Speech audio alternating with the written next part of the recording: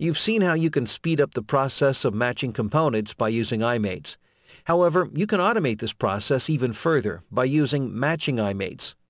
When you place a component with a standard iMate, it is placed at the first available iMate of that type.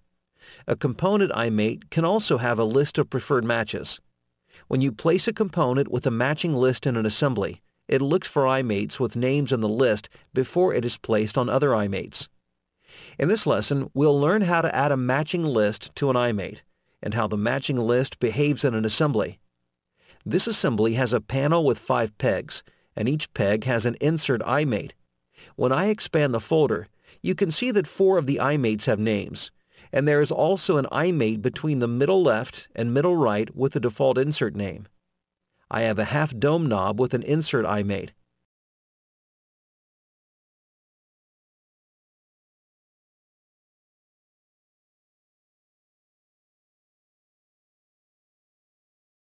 When I add the part to the assembly, each time I click, it places a knob on the next iMate.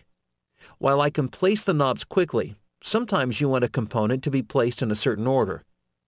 The round knob also has an insert iMate,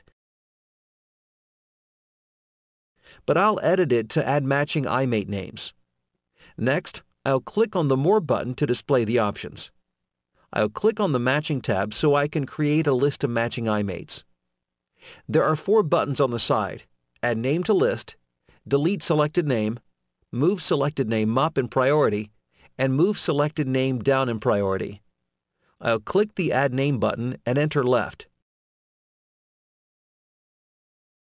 Then I'll add middle left and then right.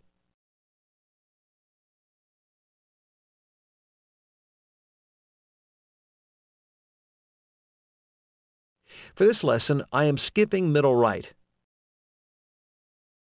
I'll click on left and then click the Move Down button until it's at the bottom of the list. I'll click OK and then save the part.